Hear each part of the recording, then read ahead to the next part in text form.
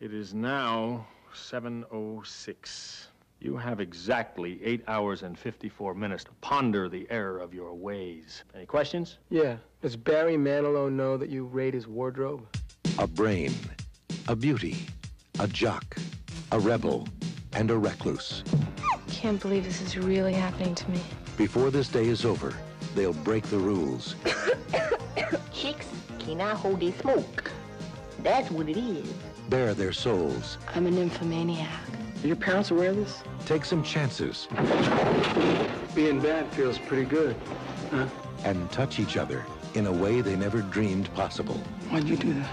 Because I knew you wouldn't. The Breakfast Club. They only met once, I don't want to be alone anymore. You don't have to. be.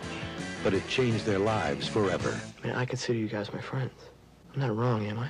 Universal Pictures presents Emilio Estevez, Paul Gleason, Anthony Michael Hall, Judd Nelson, Molly Ringwald, and Ally Sheedy in a John Hughes film, Why are you being so nice to me? Because you're letting me. The Breakfast Club.